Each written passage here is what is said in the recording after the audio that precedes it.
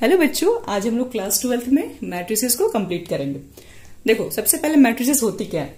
तो मैट्रिसेस जो आपके पास होती है, वो फॉर्म होती है, कुछ नंबर्स होते हैं, ठीक है, जिसको रेक्टेंगुलर वे में अरेंज किए हुए रहते हैं।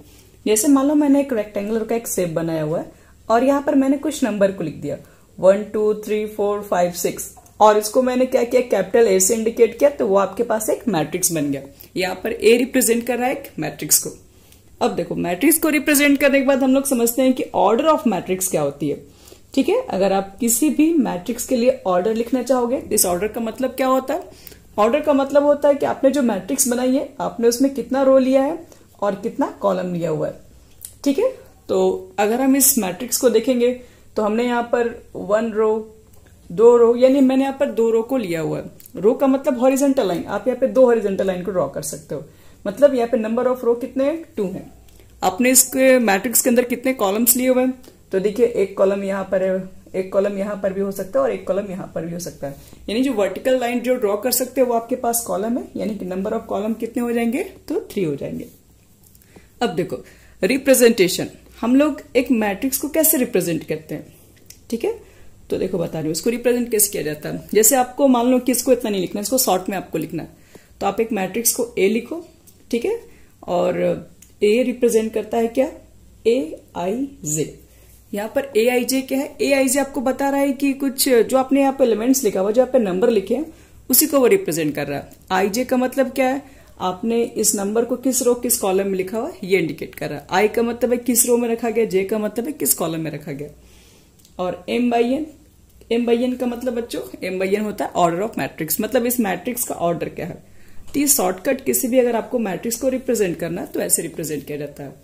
यहाँ पर ए क्या रिप्रेजेंट कर रहा है? Number of elements sorry elements को रिप्रेजेंट कर रहे हैं हम लोग कौन से एलिमेंट्स है? आईजे का मतलब है कि वो जो एलिमेंट्स है, उसका पोजीशन क्या है? किस रो किस कॉलम के अंदर है? ठीक है? और ये एम एन रिप्रेजेंट कर रहा है। पूरा जो आपके पास मैट्रिक्स है, उसका ऑर्डर क्या है? जैसे एग्ज़ाम्पल मान लो मैं यहाँ पे देती हूँ। जैसे मान लो कि मैं एक मैट्रिक्स को ड्रॉ कर रही हूँ ए इज़ इक्वल टू यहाँ पर जो मैट्रिक्स होगा बच्चों, वो फ़र्स्ट रो फ़र्स्ट कॉलम का होगा। इसलिए उसको शॉर्ट में वन वन लिखते हैं। वन वन वन वन का मतलब है कि फ़र्स्ट रो का और फ़र्स्ट कॉलम का। यहाँ पर आप जो भी एलिमेंट्स को लिखोगे ए वन टू लिखोगे। क्यों? क्योंकि ये फ़र्स्ट रो का है सेकेंड कॉलम का है। ठीक है? फ़र्स्ट रो लिखते हैं सेकेंड कॉलम लिखते हैं। अगर आप यहाँ पे वन थ्री लिखोगे, आप नेक्स्ट जो भी लिखोगे, क्योंकि ये फ़र्स्ट रो में है, लेकिन थर्ड कॉलम में आ चुका है, इस तरह से आपका बढ़ते हुए रहेगा। ठीक है? इधर अगर आप नीचे लिखोगे तो ये तो अब सेकेंड रो में आ गया। तो आप सेकेंड रो फ़र्स्ट कॉलम लिखोगे। यहाँ पर क्या लिखोगे? Second row second column second row third column ठीक है? अगर मुझे यहाँ लिखना होगा तो हम क्या लिखेंगे? Third row first column third row second column third row third column इस तरीके से फाइनल अगर हम लोग चेक करें कि इस मैट्रिक्स का ऑर्डर कितना हो जाएगा बच्चों तो इसमें मैंने थ्री रो लिखा हुआ है थ्री कॉलम लिखा हुआ है तो इस मैट्रिक्स का ऑर्डर हो जाएगा थ्री बाई थ्री हम लोग इस मैट्रिक्स का ऑर्डर को लिखेंगे। ठीक है? तो एक मैट्रिक्स क्या होता है? उसके ऑर्डर को कैसे रिप्रेजेंट करते हैं और किसी भी मैट्रिक्स को कैसे उसके एलिमेंट्स को रिप्रेजेंट करते हैं, ये हमारे पास फॉर्म हो गया। चलो हम देखते हैं टाइप्स ऑफ़ मैट्रिसेस मैट्रिसेस हमारे पास कितने तरीके के हो सकती हैं? तो हमारे पास ऐसे तो बहुत सारे मैट्रिक्स के टाइप्स होते हैं। तो आप लोग बेसिक चीज़ें सीखते हैं कौन कौन से सबसे पहले फ़र्स्ट देखो मैट्रिक्स के अंदर। आ, सबसे पहले हम लोग बोलेंगे कि आ, हमारे पास टाइप्स के अंदर जो आती है वो रो मैट्रिक्स होती है। रो मैट्रिक्स रो मैट्रिक्स किसे कहते हैं बच्चों? रो मैट्रिक्स का मतलब होती है कि वैसे मैट्रिक्स जिसमें ओनली वन रो हो। जिसमें सिर्फ़ एक ही रो हो, उसको लोग बोलते हैं रो मैट्रिक्स जैसे देखो one two three how many rows तो आप बोलोगे कि इसके अंदर एक ही तो रोज दिख रही है, क्योंकि आप इसके अंदर एक ही ओरिजेंटल लाइन ड्रॉ कर सकते हो, ये वन लेकिन इसका ऑर्डर क्या होगा बच्चों? तो फ़र्स्ट रो है, लेकिन कॉलम तो यहाँ पर थ्री में ड्रॉ कर सकते हैं वन बाई थ्री तो जिस मैट्रिक्स के अंदर सिर्फ़ वन रो होंगे, उसको हम लोग क्या बोलते हैं? रो मैट्रिक्स बोलते हैं. ठीक है? फिर देखो कॉलम मैट्रिक्स कॉलम मैट्रिक्स किसे कहते हैं? तो कॉलम मैट्रिक्स का मतलब ये होता है कि वैसे आपके पास मैट्रिक्स जिसमें केवल एक ही कॉलम हो। जैसे मैं अगर 20 से रिप्रेजेंट कर दे रही हूँ, यहाँ पर वन टू थ्री मैं लिख दू तो इसमें देखो रोज तो थ्री ड्रॉ हो जाएँगे। बट कॉलम आप चेक करोगे तो कॉलम सिर्फ़ एक ही ड्रॉ हो सकते हैं। तो कॉलम ऑफ़ मैट्रिक्स कितना हो जाएगा आप पर वन हो जाएगा। इसलिए इसको हम लोग कॉलम मैट्रिक्स कहते हैं। अब देखो बच्चों थर्ड थर्ड आपके पास होता है स्क्वायर मैट्रिक्स स्क्वायर मैट्रिक्स किसे कहेंगे बच्चों? तो स्क्वायर मैट्रिक्स नाम से ही क्लियर है। स्क्वायर स्क्वायर तो तभी हो सकता है जब एक रेक्टेंगुलर को स्क्वायर बनाने के लिए क्या करना पड़ेगा। उसमें नंबर ऑफ़ रोज और कॉलम को अगर सेम कर देंगे तो स्क्वायर मैट्रिक्स बन जाएगा। यानी कि रो कॉलम अगर सेम हो जाए तो स्क्वायर मैट्रिक्स बन सकते हैं। जैसे मैं एग्ज़ाम्पल देती हूँ। वन टू थ्री पर देखो इसमें नंबर ऑफ़ रोज भी टू है कॉलम भी टू है, इसलिए यहाँ पर ऑर्डर टू बाई टू हो जाएगा और ये स्क्वायर मैट्रिक्स बन जाएगा। तो स्क्वायर मैट्रिक्स का मतलब जिसमें number of rows and column same हो जाए, वो एक स्क्वायर मैट्रिक्स बन जाता है। देखो स्क्वायर मैट्रिक्स के बाद आता है डायगोनल मैट्रिक्स डायगोनल मैट्रिक्स देखो हम किसे कहते हैं? फोर्थ नंबर हमारा है डायगोनल मैट्रिक्स तो डायगोनल मैट्रिक्स को समझने से पहले आपको डायगोनल एलिमेंट्स को जानना पड़ता है। ठीक है बच्चों? डायगोनल एलिमेंट्स क्या होता है? तो देखो, अगर मान लो मेरे पास कोई स्क्वायर मैट्रिक्स है, जैसे मान लो कि यहाँ पर कोई स्क्वायर मैट्रिक्स है, मैंने ए वन वन लिखा ए वन टू लिखा ए वन थ्री लिखा। ए टू वन लिखा, एट टू टू लिखा, एट टू थ्री लिखा, एट थ्री वन मैंने लिख दिया, एट थ्री टू लिख दिया, एट थ्री थ्री। सबसे पहले डायगनल मैट्रिक्स क्या होती है? तो डायगनल मैट्रिक्स के लिए हम लोग क्या करते हैं? पहले डायगनल एलिमेंट्स के बारे में जान लेते हैं क्या होते हैं। डायगनल एलिमेंट्स के अंदर देखो बच्चों, जिसमें number of rows equal to the number of columns जिस एलिमेंट के रो और कॉलम सेम हो जाए। जैसे ये फ़र्स्ट रो फ़र्स्ट कॉलम के अंदर है सेकेंड रो सेकंड कॉलम के थर्ड रो थर्ड कॉलम के अंदर है। तो डायगनल ऑफ़ जो आपके पास एलिमेंट्स होते हैं उसके अंदर क्या होते हैं? वो आपके पास होते हैं ए आई जे ठीक है? पहली बात कि ए आई जे के इक्वल होंगे, ध्यान रखिएगा इसको।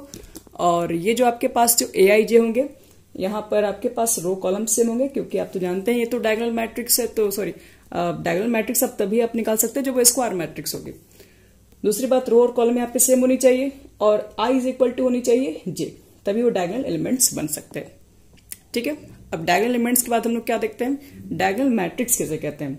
तो देखो डायगनल जो मैट्रिक्स होता है, इसमें डायगनल एलिमेंट्स को छोड़ के बाकी अदर एलिमेंट को ज़ीरो कर देना है। मतलब आप यहाँ पर कुछ भी रख सकते हो। ए बी सी कुछ भी रखो, लेकिन डायगनल एलिमेंट्स को छोड़ के अगर आप यहाँ पे अदर एलिमेंट्स को ज़ीरो पुट कर देते हो तो ये जो आपके पास मैट्रिक्स होता है, उसको डायगनल मैट्रिक्स कहते हैं हम लोग। जैसे अगर मुझे लिखना होगा डायगनल मैट्रिक्स को तो हम शॉर्ट में ऐसे भी इसको लिख सकते हैं। यहाँ पर शॉर्ट में डायगनल्स लिख सकते हो और यहाँ पर अगर आप ए बी सी से भी इंडिकेट कर सकते हो, इसको शॉर्ट में ऐसे भी लिखा जा सकता है। इसका मतलब एक डायगनल मैट्रिक्स है। डायगनल एलिमेंट्स ये हैं अदर सारे एलिमेंट्स क्या होंगे? ज़ीरो होंगे। तो डायगनल मैट्रिक्स हो गया कंप्लीट अब हम देखते हैं स्केलर मैट्रिक्स किसे कहते हैं।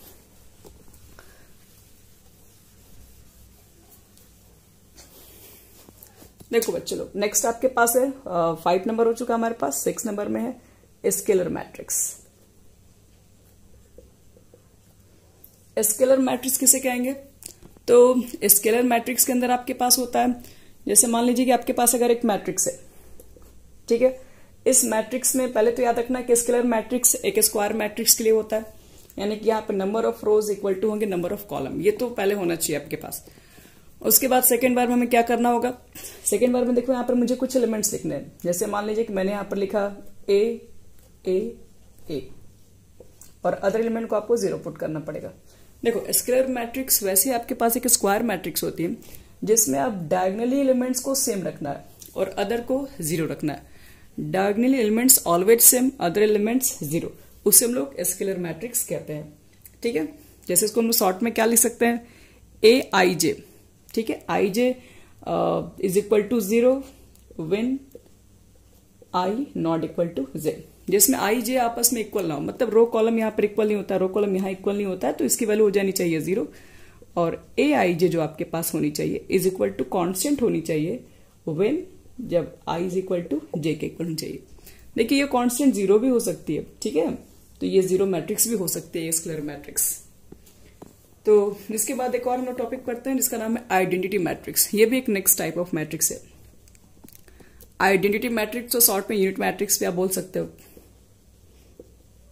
देखो यूनिट मैट्रिक्स क्या होती है? यूनिट मैट्रिक्स में जो डायगनली जो एलिमेंट्स होती हैं, वो वन होती हैं, ठीक है? और अदर सारे एलिमेंट्स क्या होते हैं? ज़ीरो होते हैं। ये हमारा डायगनल ये हमारे पास एक यूनिट मैट्रिक्स होती है। तो यूनिट मैट्रिक्स को हम लोग बेसिकली ए से नहीं आई से रिप्रेजेंट करते हैं, ठीक है? और आई इज़ इक्वल टू अगर आपके पास कभी कभी आप देखोगे कि क्वेश्चंस के अंदर आई थ्री लिख दिया जाता है आई टू लिख दिया जाता है तो आई टू आई थ्री का मतलब है कि आई टू का मतलब हो गया कि टू ऑर्डर के टू ऑर्डर के मतलब है जो आपके पास डायगनल इसमें दो रो दो कॉलम होंगे और डायगनली वन होंगे। मतलब आप इसको अगर कंबाइन कर दोगे तो दो ऑर्डर के हो जाएँगे। आई थ्री का मतलब होता है थ्री ऑर्डर के हो गए। मतलब डायगनल एलिमेंट्स जो आपके पास होंगे, वो यहाँ पर तीनों आपको वन दिखेंगे अदर सारे ज़ीरो हो जाएँगे। तो ये आपके पास एक यूनिट मैट्रिक्स होती है। इसके साथ साथ एक होता है आपके पास नल मैट्रिक्स देखो बच्चे लोग नल मैट्रिक्स किसे कहते हैं हम लोग हैं? नल मैट्रिक्स नल मैट्रिक्स या इसको शॉर्ट में आप ज़ीरो मैट्रिक्स भी बोल सकते हैं। तो नल मैट्रिक्स का मतलब ये होता है कि अगर आपके पास एक मैट्रिक्स हो मैट्रिक्स ये डिपेंड नहीं करता है कि स्क्वायर मैट्रिक्स हो, कोई कोई भी मैट्रिक्स आपके पास हो। और वहाँ पर सारे एलिमेंट्स अगर आपने ज़ीरो ही ले लिए, ठीक है तो एक नल मैट्रिक्स हो जाएगी। ओके? उसके बाद देखो नल मैट्रिक्स के बाद आपके पास आते हैं इक्वल मैट्रिक्स एक होगा, और इक्वल मैट्रिसेस एक इक्वल मैट्रिक्सेस भी होते हैं कॉम्परेबल मैट्रिसेस पहले मैं आपको कॉम्परेबल के बारे में बात कर लेती हूँ। कॉम्परेबल मैट्रिसेस क्या होती है? कॉम्परेबल मैट्रिसेस देखो कॉम्परेबल मैट्रिसेस का मतलब है कि दो मैट्रिक्स को देख लो, क्या वो कंपेयर करने के लायक है कि नहीं। तो दो मैट्रिक्स को हम लोग कंपेयर तभी कर सकते हैं, जब उसके ऑर्डर सेम होंगे। ऑर्डर सेम होंगे, तभी वो कॉम्परेबल मैट्रिक्स हो सकती है। जैसे यहाँ पर मैंने वन टू ए बी कुछ भी लिख दिया। थ्री फोर फाइव सिक्स क्या ये कॉम्परेबल मैट्रिक्स है? तो यहाँ पर कॉम्परेबल मैट्रिक्स है। क्यों? क्योंकि यहाँ पर ऑर्डर सेम होगा। सेम नंबर ऑफ़ ऑर्डर होंगे तो उसे हम बोलेंगे कॉम्परेबल मैट्रिक्स है। अब इसके बाद लास्ट हम लोग देखते हैं इक्वल मैट्रिक्स किसे कहते हैं। तो देखो इक्वल मैट्रिक्स क्या होता है? इक्वल मैट्रिक्स का मतलब ये है कि आपके पास दो मैट्रिक्स को अगर आप इक्वल मैट्रिक्स बोल सकते हैं तो पहले आपको कॉम्परेबल मैट्रिक्स होनी चाहिए। Two comparable matrix are equal matrix then their coefficient are equal जैसे कि पहले तो वो इक्वल मैट्रिक्स के लिए तो पहले तो कॉम्परेबल मैट्रिक्स होनी ही चाहिए। अगर दो कॉम्परेबल मैट्रिसेस के अगर कॉफिशियंट भी सारे सेम हो गए, ठीक है तो वो इक्वल मैट्रिक्स हो जाएगी। जैसे कि मान लो कि अगर मेरे पास वन टू थ्री बी है और मैं कह रही हूँ कि one five sorry one two C two है। और मैं बोल रही हूँ कि ये दोनों कॉम्परेबल मैट्रिक्स सॉरी ये दोनों इक्वल मैट्रिक्स है। कॉम्परेबल तो खैर है, ये इक्वल मैट्रिक्स है। तो इक्वल मैट्रिक्स ये तभी होंगे जब यहाँ पर आपके पास कॉफिशियंट दोनों तरफ़ सेम होंगे। कॉफिशियंट का मतलब है कि जिस रो, जिस कॉलम में प्रेजेंट यहाँ पर है same row same column present यहाँ पर भी होने चाहिए। और सिर्फ़ कॉफिशियंट सेम होने चाहिए।